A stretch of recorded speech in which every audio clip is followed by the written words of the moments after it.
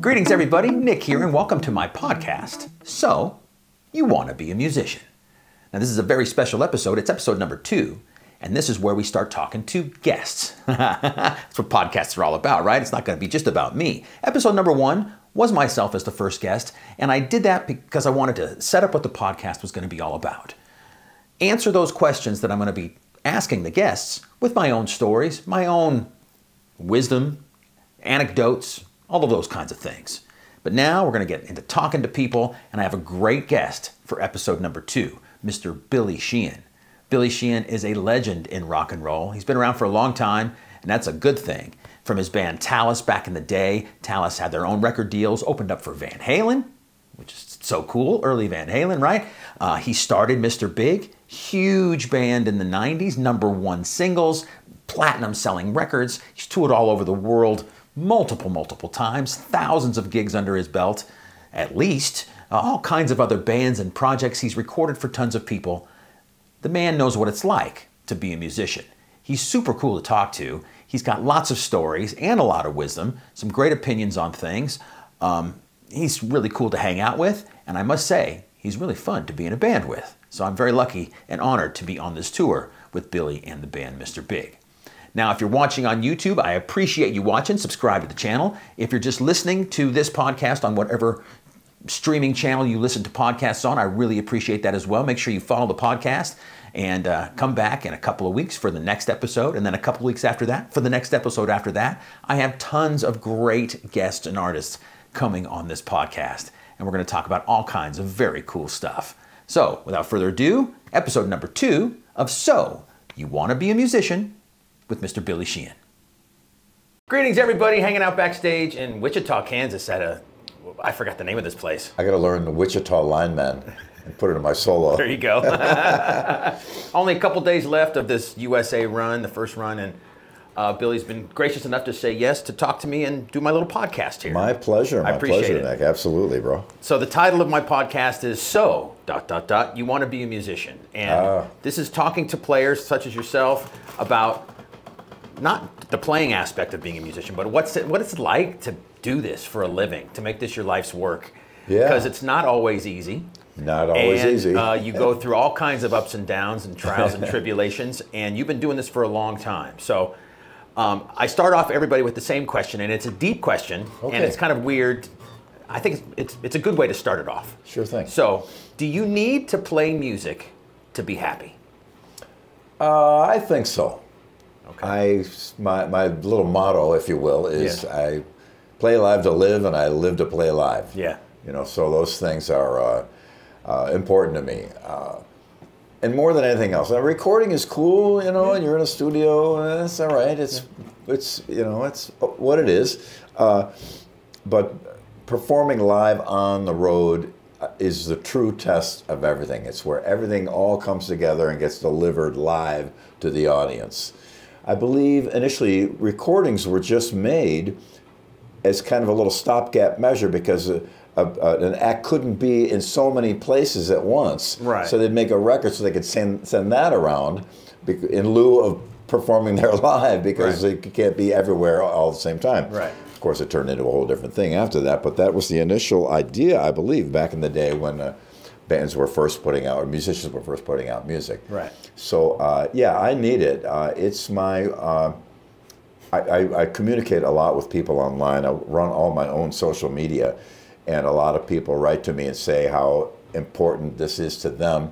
And I try to emphasize. Some guys just say, "Oh, I don't play anymore," and I say, "Go back to it. Go back. It's the greatest therapy there is." You don't have to be a virtuoso or some hot musician. Just to play, play along with your favorite songs on records, things like that. It's it's uh, it's really a great therapy and fun, and I still enjoy. it. Once in a while, I'll put on an old record or Yeah. put on Sergeant Pepper's, play the whole thing through with the, you know song to song in Sure. sequence. It's it's a riot, and I think uh, I'd, I'd love to see better uh, music education now for young kids. I did a I did an interview yesterday with uh, this young lady named Ellen. She- She's about twelve or thirteen years old Oh, okay. little bass player. Yeah. She's the daughter of a friend of mine. I played on his record, and uh, she's a great little player. And uh, she's just uh, caught up in music and playing, and it's a wonderful thing for you mentally. There's a great book I read called "This Is Your Brain on Music." And I had a little inter- interaction with the author too online just to say how much I love the book and, and all that. But it really does make a big, huge difference Sure. in people's lives. Uh, my, I'll give you, a, this is a long answer, is okay? No, that's great. Because everybody answers this question differently, so I appreciate Right you. on. Yeah, go for it. Well, um, I, I know in nursing homes, when people are kind of almost catatonic and they're kind of in the corner, not responding to anything, find music, find out how old they are and what was a hit or some hits that were available or they could have heard when they were 15, 16, or 17 years old. Because that's the, those are the Like the- the ages prime years, yeah. according to that book, that you really start to lock into music. The music you hear at that time in your life will stay with you forever, and they come alive, and, they- and they and they know where they are, and they and they remember the song, and they remember the artist. My mom, when she was uh, about to pass away, we're all with her. It was not a necessarily a terrible, uh, down, sad thing. She had a wonderful life, and she lived to a, a ripe old age.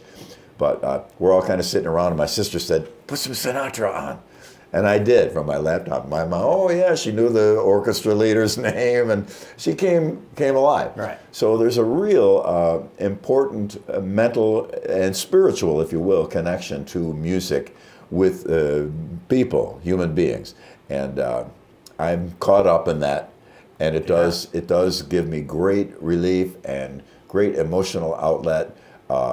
There's some there, there's a lot of music that I can't listen to without tearing up Sure. you know that is just so important to me and uh, so yeah uh, I, I, I need music Well, you know, speaking of that young girl, a 12 year old that plays bass, that, that's kind of how we all started, right? Yeah. Young kids putting on our instrument, playing listening to music, and getting that that dream of what it might be like to, to be on stage and Exactly. doing what our heroes did. you sit down with a record and you go "Wha- what's oh, oh," you try to find the note oh here it is that's what key i'm in where's the next note oh there it is and it's a, just a, uh, and it really mentally is a great exercise for you because it's basically like learning another language Sure. but it is learning a language different from the spoken language that really appeals to everyone Right. Even to uh, even to uh, the savage beast. You know? Right. Music hath charms that that calm the savage beast. Sure. I think that's the quote. So, with that in mind as the starting point, you've been in a number of bands. You've kind of gone through a lots, lots of stuff. What were some of the pitfalls? What, what, let me step back. Was there ever a time that you ever thought, "Uh, "Screw this! I want, I, I don't want anything to do with it anymore"? Like, it, like there was something that was just so hard and was such a pain in the butt that you wanted to maybe give up. Did you? Did that ever cross your mind? Ever? There were things that were so hard and such a pain in the butt that I should have probably said that, but I didn't. Yeah. Okay. And uh, and it's mostly things that have nothing to do with music. right. It's the extra. It's the It's extra, the stuff. extra thing. And that's why I see a lot of great players these days. And, and my wish for them is I hope they make it through all those things. Right. Because I've seen great, great players that we never heard of again. Right. You know, God knows what they what happened, or some crazy manager, some stupid contract, or uh, you know, uh, a divorce or a family tragedy. You know, there's all kinds of things that can stop you. The life is tough. Life life is not easy uh, for most people. Uh, it may seem easy because some people paint a picture that they're just doing fantastic and rolling in daisies, but in, in real life, behind the scenes, everybody's got a, a Yeah. tough time. But uh, for me, music was always a thing that I is my one thing I could depend on, no matter how bad things were falling apart, no matter how much trouble I was in. And I've, I've seen some very very tough times, but I just don't announce them. Right. I don't post about those on. Sure. I'll post the good stuff. I'll leave the bad stuff be- behind. But I've had some really, really difficult times, and and it was the one stable, solid island I could stand on in the middle of a tempestuous sea was music, and playing it and listening to it. So it, that's awesome. How? What kind of advice? If you're sitting with, if I was a young musician about to take that leap, I'm in a band, we're getting signed, all that kind of stuff. Is there a little piece of advice, a wisdom that you would impart to a, a younger player about what things to look out for, that kind of stuff? Well, uh, drugs and alcohol. I've seen great, great players. I grew up in high school. We had a bunch of great, great musicians. The guys that were uh, uh, partaking in uh, various intoxicants. The drug thing almost more than the alcohol thing, though they're so they both Yeah. can be equally uh, uh, troubling. Of course. Um, they they they were always great musicians, but they never got anywhere. Never made it. And I remember there's a famous commercial about uh, smoking dope where uh, they uh, the, the headline is if you smoke dope, nothing will happen. And then they, and then you realize what they meant is nothing, Nothing. will happen. Because uh, and now I, I know there's a lot of people that uh, it's a different time now. And people uh, indulge in that and they're and they seem fine it seems okay. And uh, just one man's opinion by my observation uh, it can really inhibit a lot of your drive and enthusiasm and your health too. I'm, I'm going to be 71 next month and I'm still on stage every night doing Yeah. it, hitting it hard. You are. working up a sweat. Uh, my body's in good shape. Uh, some things hurt when I get up in the morning, but hey, that happens when you get over over sixty. But and I, I and I enjoy a, a, a drink. Right. You know, I don't do any drugs at all. I haven't even had an, an aspirin since 1971. I smoked dope a little bit in high school, but quit. And again, when I saw what was happening around Sure. me, uh, I just said I better I better move off of it. yeah. But I do enjoy a drink now and then, uh, some wine or, or a sip of whiskey. You, you and I have had a couple nice dinners where we had a nice bottle. But but to really to be careful and cautious with those things because they really can be uh, uh, kind of a hidden thing because you don't realize why so many things are going wrong and off and everything. You say. I remember a, a very famous musician called me. He was in the studio having a rough time, and I knew the guy that he was working with was just out of it all the time. Right. And I said, that's, that's what it is. You know, that's, you, know, you can't really, it's difficult to work with. So to each his own. And if somebody wants to do their thing, I still love them and I still support them and I'll still buy their records and I'll still, they're still my friend. But I just think it's a good idea for everybody to stop for a minute and really make a decision on things of that nature. Sure. Because if you run the numbers, you'll see a lot more trouble from it than you do gain and benefit. I mean, you feel good when you do it, Right. but there are that, that pendulum swings both ways. I feel great. I don't feel so great, or there's confusion. That, that's one thing for sure. And the other uh, advice I generally tell people, as you mentioned, people that are getting in a band, is to get in a band, get in a band and play. I, I, it's where everything comes together.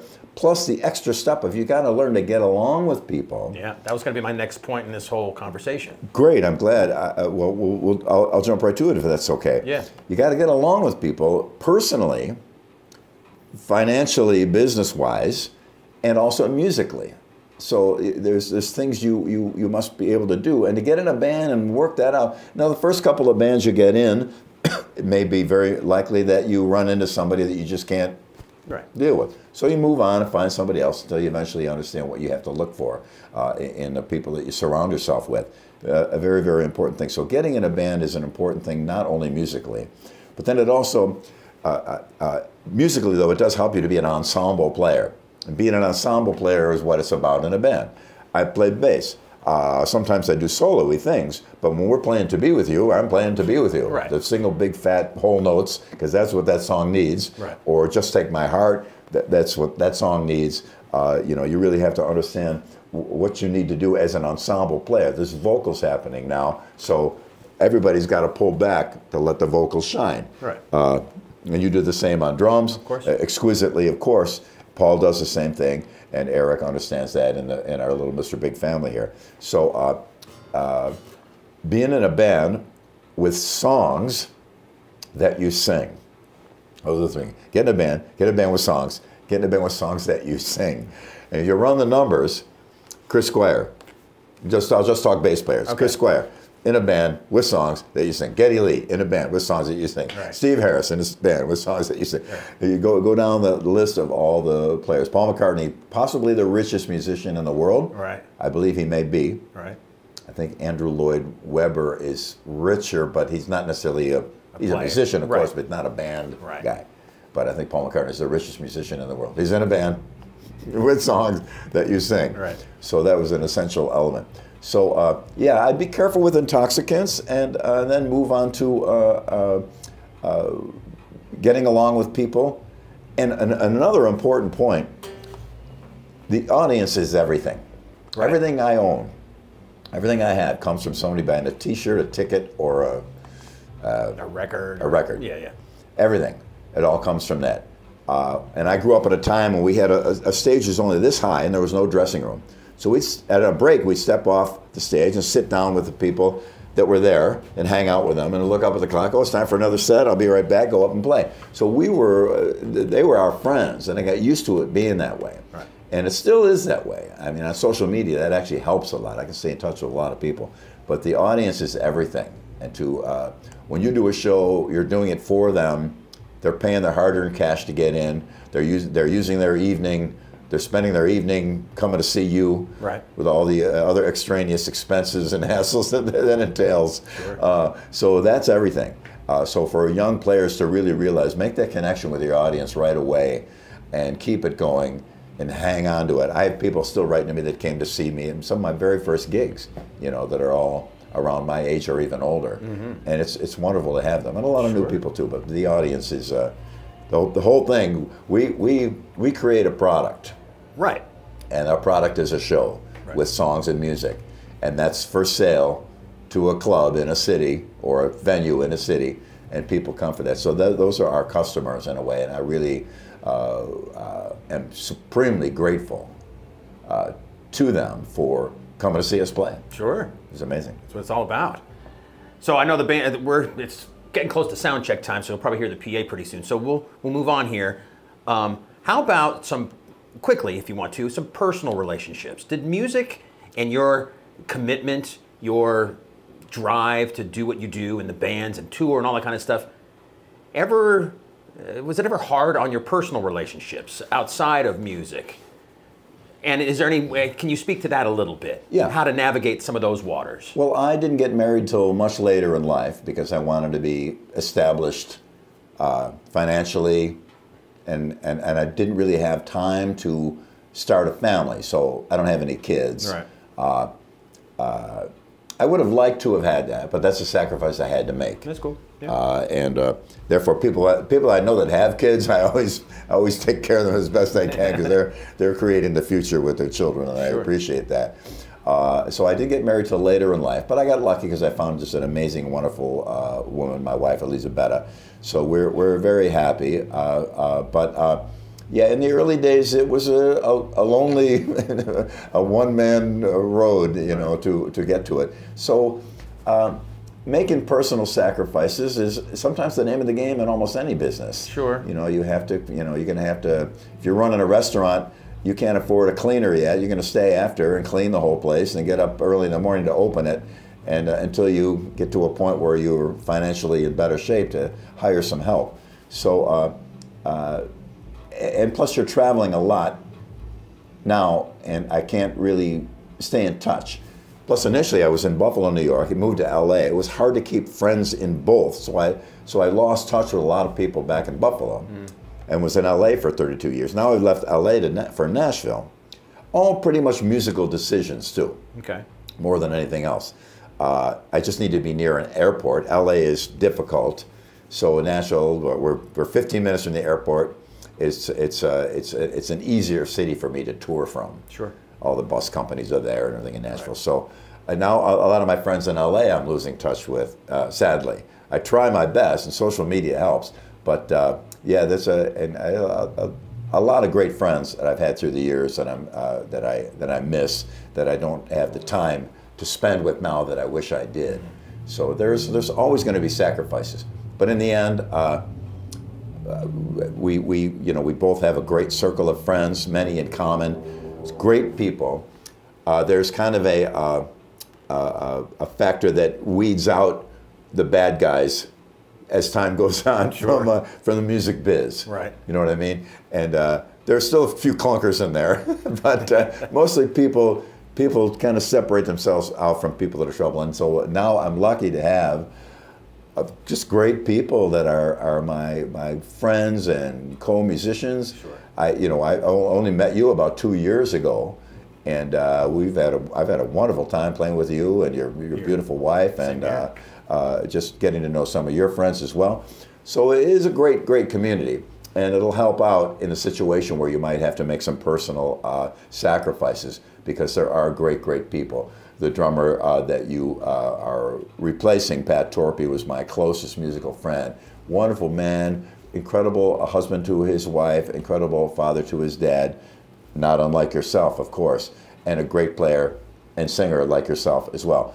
And uh, he was a very important person to me, and I realized more than ever in his passing how valuable some people are in my life. Sure. You know, so uh, it's it's a it's a great business, and there's a there's great great people in it, and uh, generous, uh, uh friendly, helpful, talented people, and uh, and I, am I'm, I'm I'm happy to have uh, the friends I have now.